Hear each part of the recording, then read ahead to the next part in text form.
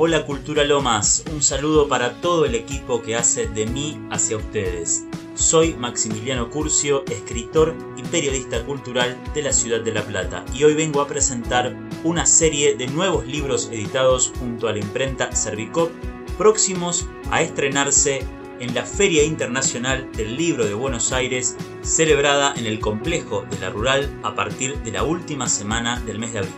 El primero de estos libros se llama Esto lo estoy escribiendo mañana y seguramente resuena en su título la intención de la máxima sellada por Julio Cortázar en El Perseguidor y aquello de Esto lo estoy tocando mañana. La simbiosis entre el jazz como representación melódica de su parecer literario y su consecuente validación poética. Este título representó para mí un disparador en la inspiración como prólogo a la imperiosa necesidad de redactar estas líneas conformando una trama laberíntica vertebrada en relatos seriados en forma de prosa poética. Es así como nace este proyecto poético y visual también que se construyó como un compendio de fragmentos cautivos bajo un mandato, que no es más que escribir desde la febril urgencia. Aquí encontrarán, a través de los distintos apartados que conforman este libro, una serie de prosas poéticas irrenunciables, irrefrenables, incontenibles, a modo de pensamientos precedidos en su introducción y como disparador estético a cada apartado de una imagen abierta a múltiples interpretaciones como un eco a posibles sentidos próximos a ser descubiertos durante la lectura con la firme intención de establecer un diálogo permanente entre la imagen diseñada y el sentido que las palabras sugieren. Reflexiones como meditaciones y pequeñas historias como metáforas en donde cada acto poético se aprecia como un sacrificio. Esto lo estoy escribiendo mañana es un ejercicio de escritura fragmentada y consciente, con la firme convicción de pensar el mundo de hoy y también de imaginar la infinitud de otros posibles es una personalísima visión de la belleza que intenta provocar la sensorialidad literaria y la identificación íntima en cada destinatario. Y es mi deseo personal compartir este camino de arte, observación y reflexión. El siguiente libro que vengo a presentarles hoy se llama Hombres, mitos y leyendas, íconos afroamericanos del deporte.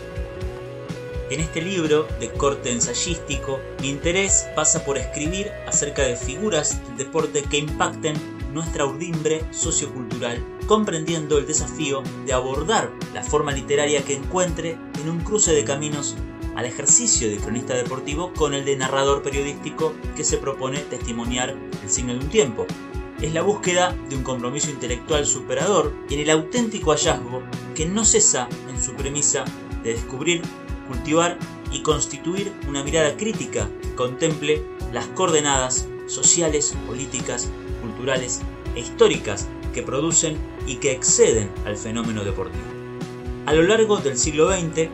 el deporte ha cautivado, asombrado y elevado las almas de fans fervorosos, ávidos de tales prácticas, quienes en la consumición y en la identificación con las mismas han podido ser testigos de la transformación de ciertos atletas emblema como paradigmas masivos dignos de análisis pormenorizados. Es así como la enseñanza dejada por tales imprescindibles nombres propios del deporte afroamericano nos convida a la maravillosa revelación que excede toda barrera idiomática, racial, política o generacional Usar nuestra imaginación para soñar en grande implica superar obstáculos que validen la lucha en sí misma, magnificando el precio de aquella conquista de tan dificultoso acceso. Allí es donde la injerencia del escritor, como ese puente imprescindible e indestructible que vivencia, atraviesa y comunica tamañas hazañas deportivas, sabrá colocar con justas palabras semejante valor trascendental. En este libro, Hombres, mitos y leyendas, me interesa destacar la dedicación extrema y la superación constante puesta en función de perfeccionar el talento innato, aspecto que implica ese grado de distinción al que acceden los pocos elegidos pertenecientes a la élite de su clase y que me he decidido a incluir en este libro dueñas de un poderoso matiz revelador, en este trabajo cobran pulso, virtud y vida una serie de historias con nombre propio que invito a todos a conocerlas. Muchísimas gracias a Cultura Lomas y a la gente del programa De mí hacia ustedes por permitirme la posibilidad de difundir este nuevo material y los espero el domingo 15 de mayo. Estaré firmando ejemplares en la Feria Internacional del Libro, junto a la gente de Servicop, quien tan amablemente ha hecho posible la publicación de estos trabajos. Un fuerte abrazo y hasta muy pronto.